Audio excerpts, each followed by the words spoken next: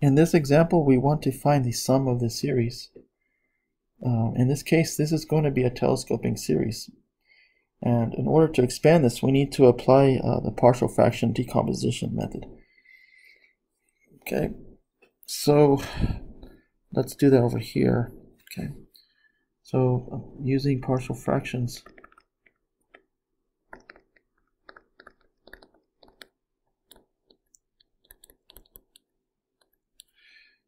Okay, so we're gonna get, um, if we're gonna factor the denominator here, so we have 2 over 2n minus 1 times 2n plus 1. So that's just using the difference of squares. So for each factor, so this is a distinct linear factor. So for each factor, we need to have a constant.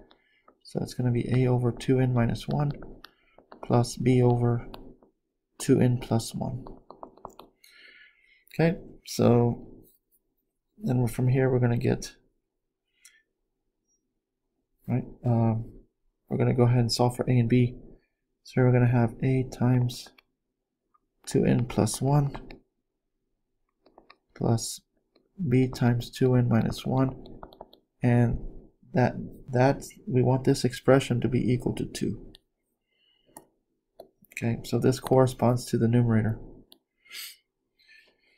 Okay, so then from there, let's see, we're going to get 2a, so 2an plus a plus 2a, 2a, 2b,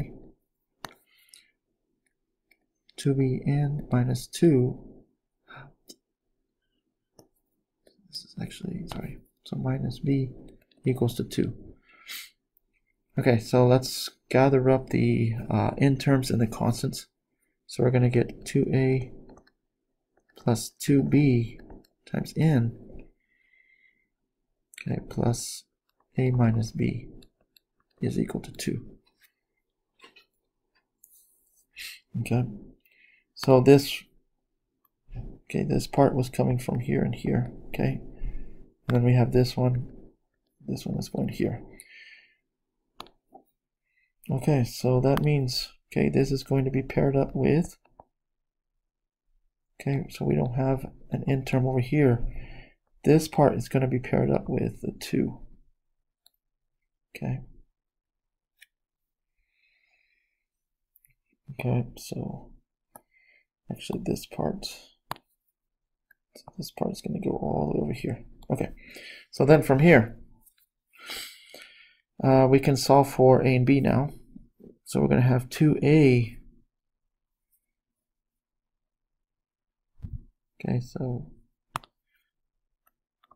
2a plus 2b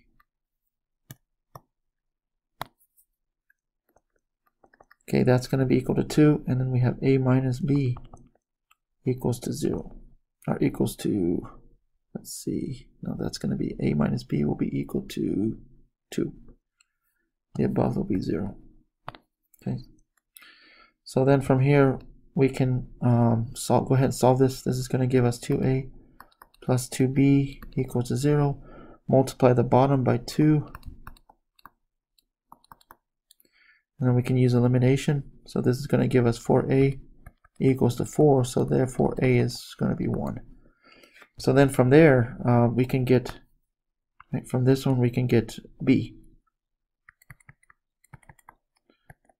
So b is going to be negative 1. Okay, so that's just using partial fractions. Okay, so then from there, um, let's rewrite our sum.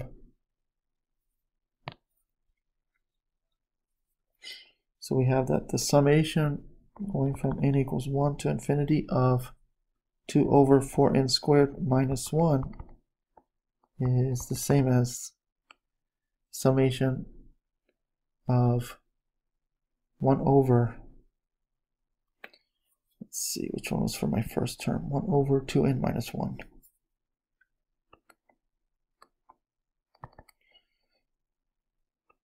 Plus, actually it's going to be minus 1 over, let's see, 1 over 2 plus 1.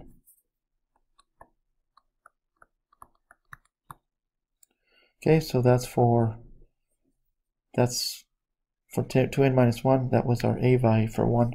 And then for the value above 2n plus 1, that was our b value, which was negative 1. Okay, so now we can expand on this.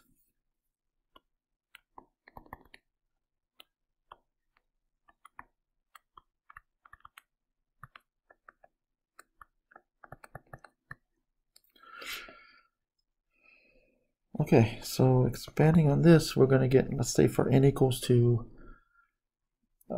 1, we're going to get, let's see, 1,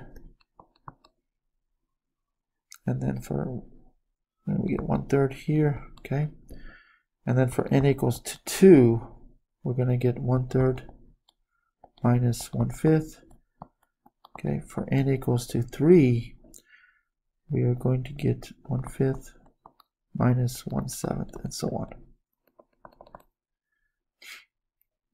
Okay. So in general, okay, you can see you can see that these uh, the middle terms will cancel out. So we have 1 minus 1 third plus 1 third plus 1 fifth minus see, actually it's minus, minus one fifth plus one fifth, and then minus one seventh, and then so on. Okay, so these terms in the middle are going to cancel out, and eventually one seventh will cancel out if we take this out far enough. So from here we can come up with a general form for the for the nth partial sum. So S of n is going to be 1 minus. All right, so this was for Okay, so this was for n equals to 1, n equals to 2, and n equals to 3. So that means when n is 3, if we plug it into here, okay, we're going to get, we get 1 seventh. So that means that we have 1 minus 1 over 2n plus 1. So the last, the when we stop at a certain n value, the last term is going to be uh, this one here, okay? Okay, so now we can take the limit. Okay.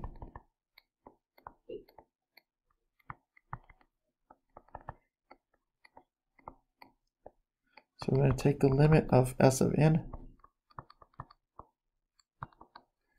So this is going to go to 1 because 1 over 2n plus 1 as n goes infinity is going to be 1. Or it's actually going to go 0, so that's going to leave us with 1. So therefore, the series, okay, Okay, this this is a right, this infinite series is going to go to one. Okay.